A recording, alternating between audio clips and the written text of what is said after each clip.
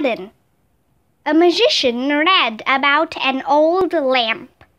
Rub this, he read, and a genie appears. He can do anything for you.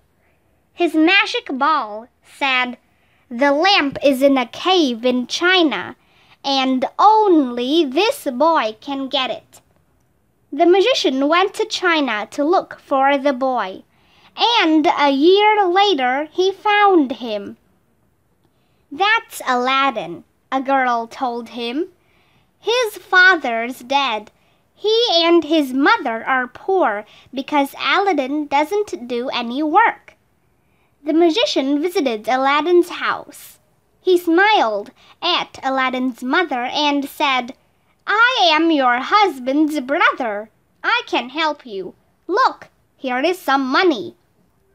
Aladdin, cried his mother. This is your uncle. Run and get some food. Your son must have work, said the magician. He can work for me. Aladdin's mother was happy to hear this. But Aladdin wasn't happy because he didn't like work. The magician took Aladdin to the hills. He did some magic and the ground opened up. Open that door, he said to Aladdin. There's a cave of gold down there, said the magician. Go through that cave, but don't take any gold. Then there's a garden. Go through the garden to a small cave.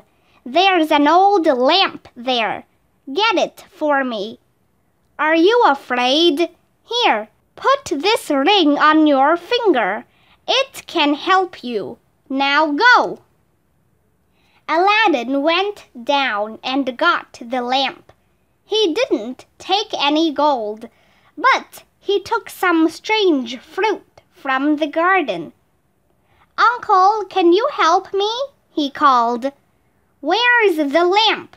said the magician angrily. Give me the lamp, the lamp. Now, suddenly, Aladdin was afraid of his uncle, and he didn't want to go back. Stay down there, then, cried the magician. Bang! And he closed the door of the cave. It was dark. Aladdin cried and rubbed his hands. By accident, he rubbed the ring, and suddenly a big red genie appeared. I am the genie of the ring, he said. What do you want? I want to go home, Aladdin cried. And suddenly he was at home in bed. His mother came in and saw the lamp. Oh, I can sell this to buy food, she thought, but I must clean it first. Aladdin's mother rubbed the lamp, and a very big orange genie appeared. I am the genie of the lamp, he said. What do you want? Oh, cried Aladdin, get us something to eat.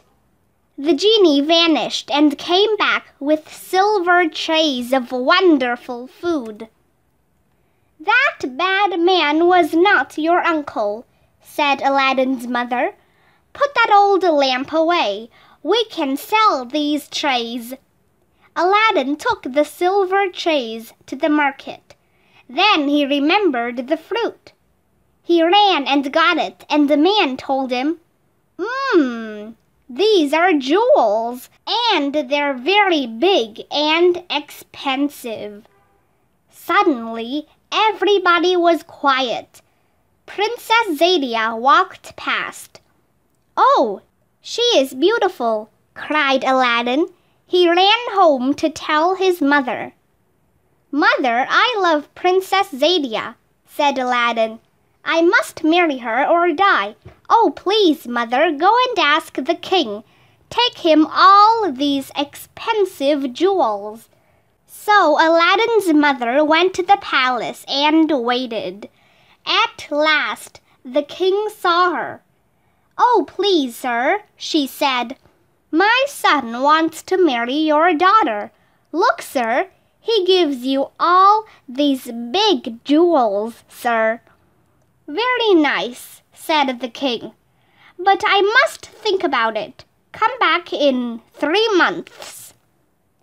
Aladdin's mother came back three months later, and the king thought, Not that poor woman again.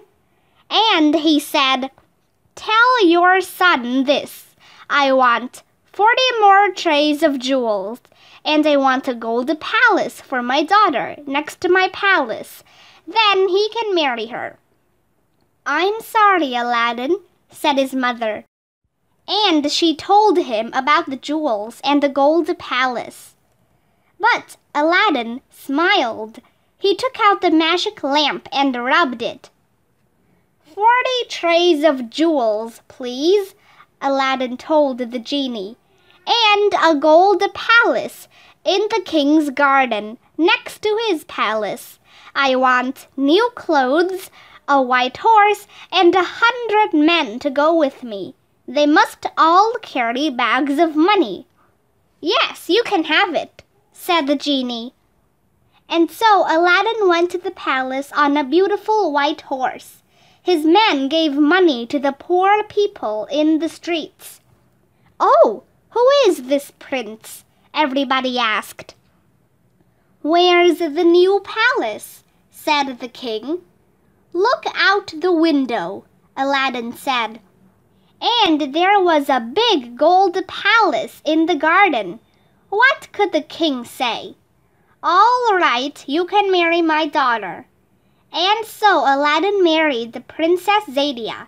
They were very happy, and every day Aladdin's men gave food and money to all the poor people in the streets.